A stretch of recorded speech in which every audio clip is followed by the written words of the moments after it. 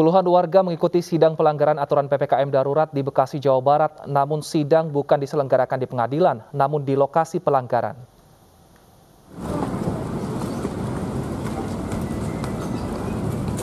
Petugas merazia sejumlah lokasi yang melanggar aturan PPKM darurat di Bekasi, Jawa Barat. 29 orang, termasuk pedagang makanan pun harus dibawa petugas karena melanggar aturan. Para pelanggar dibawa ke lokasi sidang untuk membayar denda serta menjalankan sanksi.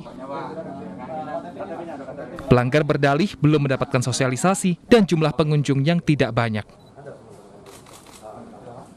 Dia sih tahu disuruh tutup, tapi kan kita usahanya yang kayak gini kayaknya, kayaknya juga nggak banyak orang kok.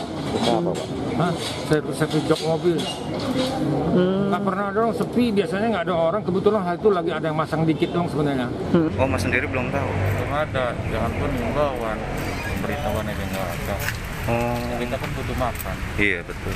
kalau saya nutup saya kasih makan anak istri saya Iya. kontrak saya kan Iya.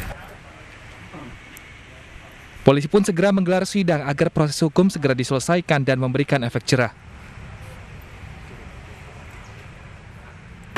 Di lapangan kita melaksanakan penertiban, kemudian penindakan, dan dibawa kepada sidang TPRI pada siang hari ini. Siang hari ini kita berhasil melakukan penertiban terhadap 29 pelanggar. Ada yang tidak pakai masker, ada yang berkerumun, ada juga tempat makan yang masih melaksanakan makan di tempat atau dine-in. Seharusnya tidak boleh lagi, mereka harus selalu makan di, bukan di tempat itu, tapi dibawa pulang. Tim Satgas COVID-19 Kota Bekasi akan terus menggelar razia untuk membatasi mobilitas warga. Dari Bekasi, Jawa Barat, Rahmat Hidayat, iNews melaporkan.